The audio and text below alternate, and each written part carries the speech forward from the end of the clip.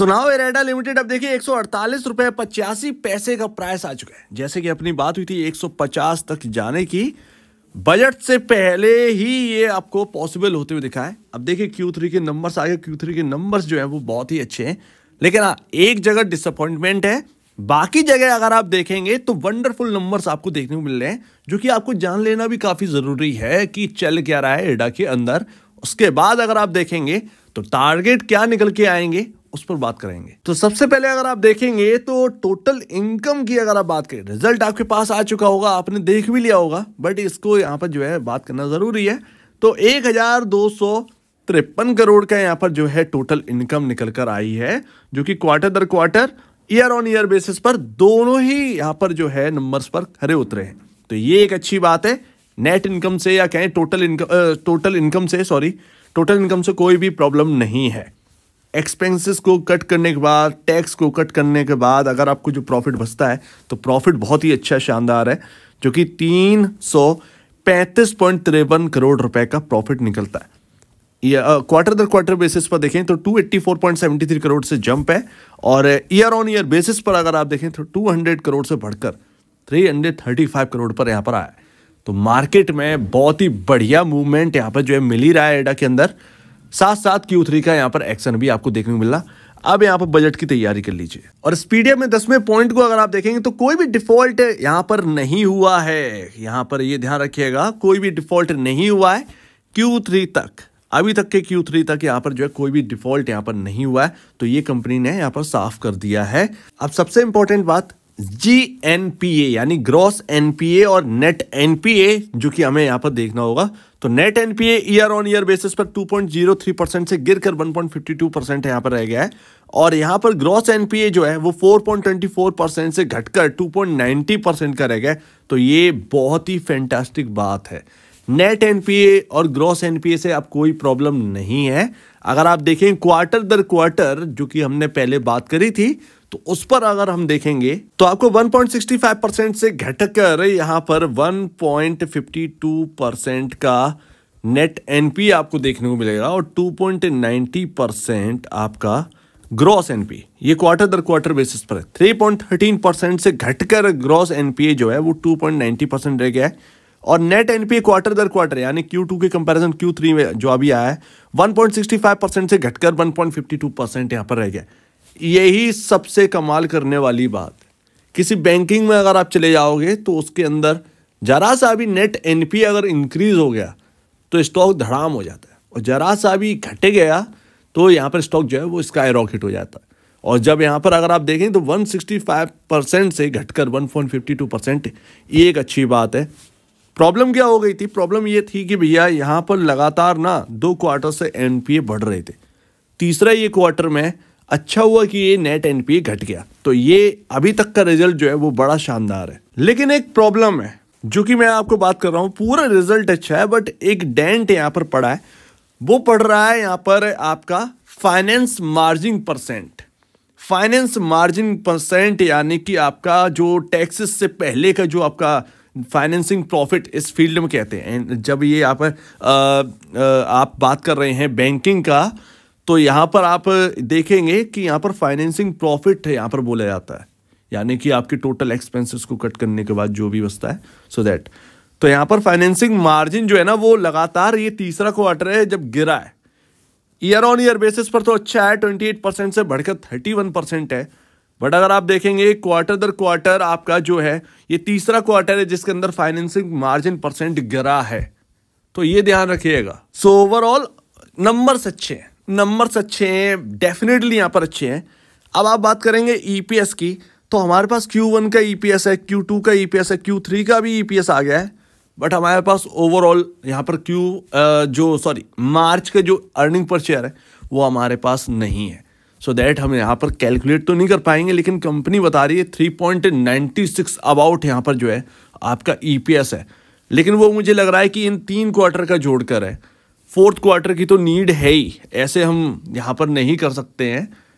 अगर अगर आप उस हिसाब से अगर आप देखें एक एक एवरेज अगर आप दिखा लें मैं मानता हूँ एक का ईपीएस अगर हम रख लें आ, मार्च वाले का तो यहाँ पर कितना यहाँ पर बनता है?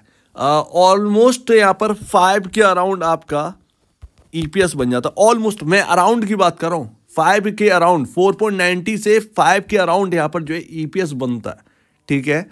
अगर हम यहाँ पर फाइव के अराउंड देखें, जो कि फाइव या फाइव से एक्स्ट्रा हो सकता है, या फोर पॉइंट नाइन्टी के अबाउट में कह रहा हूँ तो यहाँ पर आपका वन फोर्टी वन फिफ्टी मान लेते हैं। ठीक है? यहाँ पर अगर आप देखेंगे तो तीस का, यहाँ पर पी रेशियो आपका पहुँच चुका है। यस थर्टी का पी रेशियो आपका पहुँच चुका है तो ये एक अच्छी बात है कि आपका तीस का जो पी रेशियो है वो आ चुका है। तो एटलीस्ट यहाँ पर जो है आप सेफ्टी पर्पज़ अगर आप देखेंगे तो पी रेशियो फोर्टी सिक्स से थर्टी के अराउंड आपको देखने को मिल रहा है। तो ये एक अच्छी बात है, जो हमें चाहिए था वैल्यूशन कंफर्ट वो यहाँ पर बहुत बहुत ज़्यादा तो नहीं, लेकिन इस स्थिति में जब ये स्टॉक स्काई रॉकेट हो रहा है वैल्यूशन लगातार स्ट्रेच हो रही हैं, ऐसे में आपका जो एक पी रेशियो है, वो फिर भी ठीक जगह पर पहुँच चुका है। तो ये एक अच्छी बात तो भैया वैल्यूशन कंफर्ट आता हुआ दिख रहा है। इसका मतलब ये है कि अराउंड यहाँ पर अगर आप देखें तो कोई बड़ी गिरावट यहाँ पर अब पॉसिबिलिटी एडा के अंदर नहीं लगती है। अब एक गिरावट अगर आएगी भी तो वो लिमिटेड गिरावट होगी, जो कि बजट की वजह से प्रॉफिट बुकिंग होगी। एक बात और, जहाँ पर अभी हम स्टैंड कर रहे हैं, ठीक है, जहाँ पर अभी हम स्टैंड कर रहे हैं, ऐसा नहीं है कि बहुत कुछ बदल गया है। ये भी ध्यान रखिएगा। बहुत कुछ बदल गया है। बजट की वजह से एक्सपेक्टेशन की वजह से लेकिन काउंटर जो है अगर यहाँ से और हाइयर साइड जाएगा तो फिर वही बात आ जाएगी वैल्यूशन कंफर्ट यहाँ से फिर से गायब होने लगेगा। लेकिन एटलीस्ट आप जो पुराने निवेशक हैं उनके लिए एक अच्छी बात ये हो, हो गई है कि जो डाउनसाइड है वो कहीं ना कहीं अब लिमिटेड होगी। लिमिटेड होगी इसकी वजह से। एक कह सकते हैं कि वो 85 का दायरा जो है ना वो बहुत ही रेयर कंडीशन में आपको देखने को मिलेगा। ऐसे नहीं आता हुआ देखेगा। वो बहुत ही रेयर कंडीशन में आता हुआ देखेगा, जब मार्केट अचानक से टूटा होगा और इस पर प्रेशर बन रहा होगा। क्योंकि बजट के बाद ये काउंटर पर उतना बहुत ज़्यादा इंटरेस्ट अभी नहीं रहेगा। बजट की वजह से हमें पीएसयू पर इंटरेस्ट देखने को मिला। बजट के बाद नहीं देखने को मिलेगा। ये ध्यान रखिए, खबर से पहले स्टॉक चलते खबर के बाद नहीं। तो वो यहाँ पर इंपॉर्टेंट है। इसलिए मैं कह रहा हूँ कि क्यू से पहले थोड़ा सा प्रॉफिट करवाया। अच्छी बात है, आपके पास पैसे आ गए। ठीक है?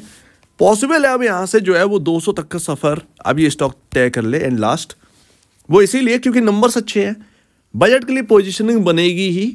बस थोड़ी चीज़ें हमें देखकर चलना है। यहाँ पर अराउंड अभी तो हम 80 के अराउंड आरएसआई भी नहीं पहुँचा है, पूरी तरीके से। सॉरी 80 82 के अराउंड पहुँच चुका है। 82 के अराउंड पहुँच चुका है।